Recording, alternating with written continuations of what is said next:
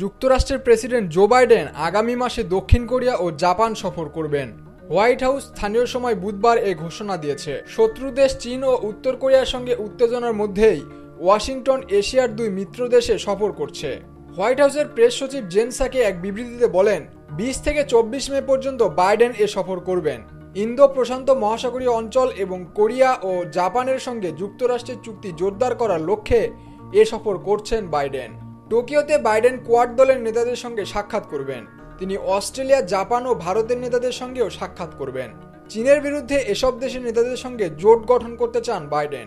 Biden প্রশাসন বারবার Asia প্রশান্ত মহাসাগরীয় অঞ্চল, বিশেষ করে কমিউনিস্ট চীনের উত্থানকে যুক্তরাষ্ট্রের জন্য কৌশলগত সমস্যা হিসেবে চিহ্নিত করেছে।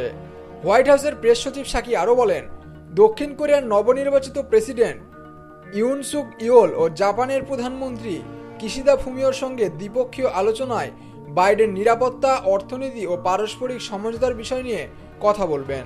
আগামী বারো থেকে তেরো মে ওয়াশিংটনে যুক্তরাষ্ট্র আসিয়ান নেতাদের বিশেষ বৈঠকের পরই এ সফর করবেন বাইডেন। মজুমদার সবুজ পুণ্ড নিউজ।